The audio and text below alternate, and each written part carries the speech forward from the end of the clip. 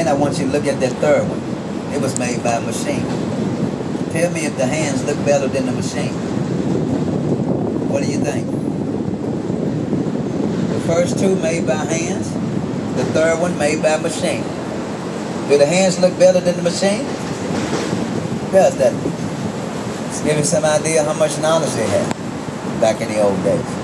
On our left, there's an old rusty ferry incline ramp here. Running down the edge of the shore. This ramp was used during the 1800s. This was before railroad bridges was built. They did not have no means